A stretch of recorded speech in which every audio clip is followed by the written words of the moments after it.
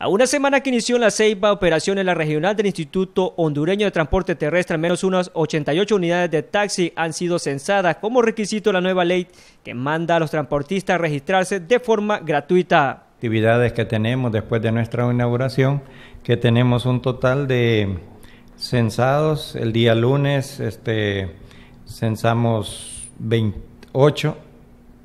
Del día lunes, perdón, censamos 9 el día martes 21, el día miércoles 37, el día jueves 36 y el día viernes 22, para hacer un gran total desglosado ya por unidades, unidades de taxi 88, mototaxis 9, eh, solicitudes de inscripción tenemos 15 para iniciar eh, lo que es este tanto el transporte tanto de taxi como de mototaxi interurbanos se han censado un, 13 buses para hacer un gran total de 125 censados en todas las eh, unidades que les he mencionado. Las modernas oficinas se encuentran ubicadas en la cartera que conduce al muelle de cabotaje donde funciona también una ventanilla de quejas que vendrá a poner un alto a los supuestos actos ilícitos que se daban a nivel nacional en administraciones pasadas. Presidente de la cooperativa Cotaxel y ando con uno de los socios haciendo eh, las primeras diligencias.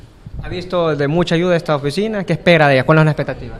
Sí, está muy bien esto, porque así sabemos cómo estamos todos. ¿Atención hasta el momento ahorita? Muy buena, muy buena. Además, para enero del 2017 se espera la integración de los inspectores de transportes, nombrados por el comisionado presidencial de transporte terrestre, que serán los encargados de regular y poner un orden a los transportistas en el municipio. A partir del mes de enero ya van a ser los operativos ya con los inspectores nombrados. ¿Quiere decir que en este momento todo el rubro de transporte tiene para la oportunidad para censarse?